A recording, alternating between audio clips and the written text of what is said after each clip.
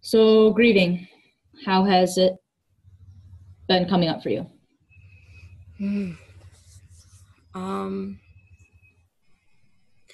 I've been in this phase in my life where things are shifting, and I think it comes with the new season, with spring, these new beginnings, and it's a wonderful shift.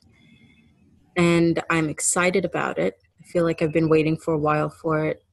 And at the same time, a part of me is in the state of grief and in the state of sadness of relinquishing who I used to be and the way I used to do things.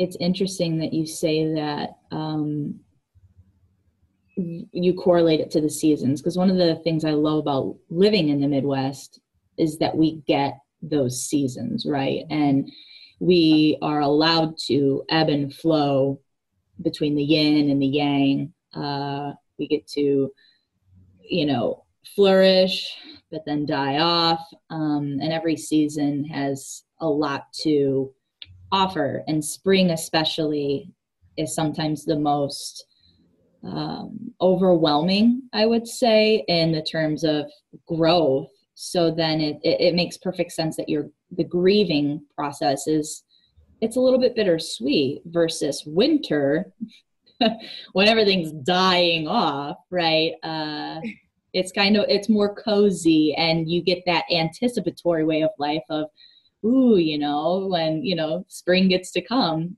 it's exciting. Yeah. So when you say that you, who you used to be, why is it hard or sad? Why are you grieving that? I think it's just because um, I practiced it for so long. I practiced being that person for so long. And now I get to practice being a new me and doing things in a different way.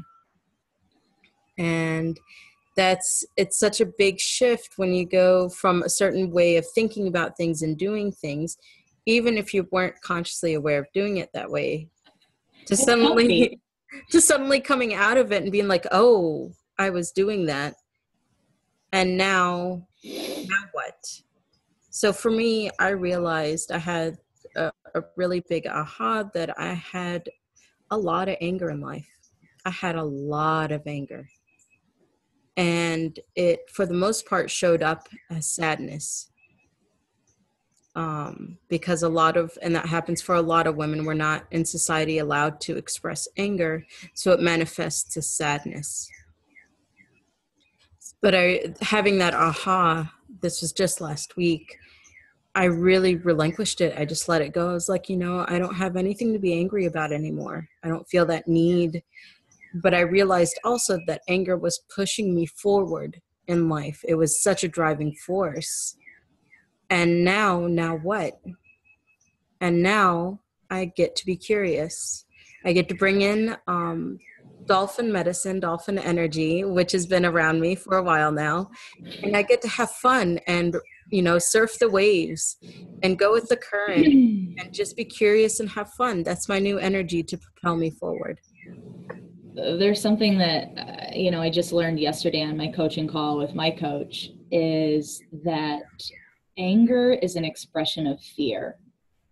And one of the majority, or one of the main ways females especially do is sadness and restrictiveness or surrendering to the point to where they we we make excuses for why we shouldn't step up or be our true authentic self absolutely and for me especially too i, I love the fact that it, it it is like a grievance process of who you are. I think we get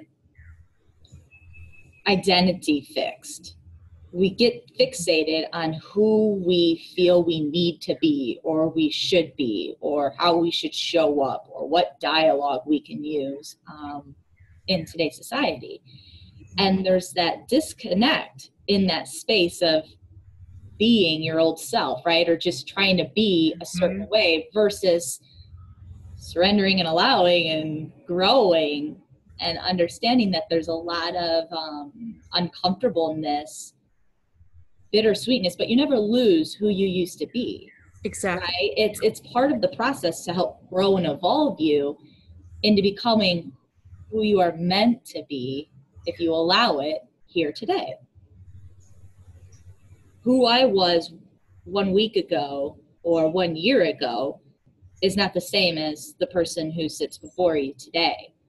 And it doesn't have to be like a, um, a pain story, right? Or a, a dis a loss. A di- yeah, a loss. That's a better way it doesn't have to be a loss. Like it was it was a big eye opener for me last year sometime that grief didn't have to be a loss. That that you could be grieving something that wasn't a breakup. It wasn't somebody dying in your life. You know, it wasn't losing a job. It was just just to grieve the thing that really as you just said that losing a job i think that's a big like transitioning careers or people whose kids go away to school right? I think there's a huge um, underappreciated or an like opportunities are not taken in grieving that shift right? You know you get in this career and then you go to another one and it's kind of sad that you don't get to experience those old people or you have your old way of being or functioning and relating. Same thing as parenting. Uh, when you have your parent or your kids in home and then they all leave it's like you're flipped upside down because the way you lived your life no longer it's not that it's not necessary but you have a lot more free time to be a new you mm-hmm. live a new way. And there's a lot of resistance of like it's almost like it's a punishment or it has to be a, a loss or an uphill battle well why can't it just be a celebration? Why can't it be curious right? And uh, a growth opportunity. Absolutely. Hmm. so how has grief shown up for you in these last say two weeks?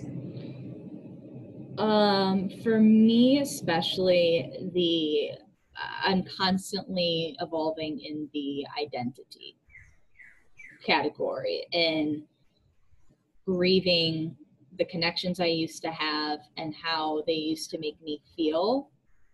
But so there's two ways in which I grieve.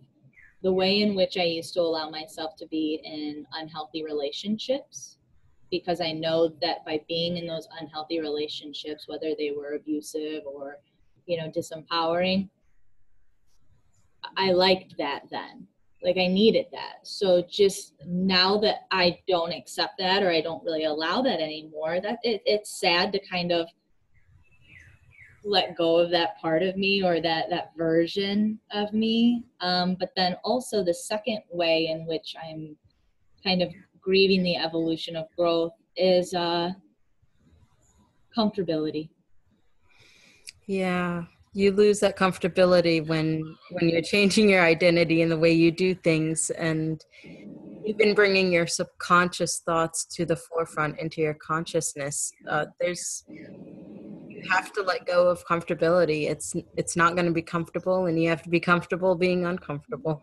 Yeah, and so I have been just allowing grieving to be growth mm-hmm.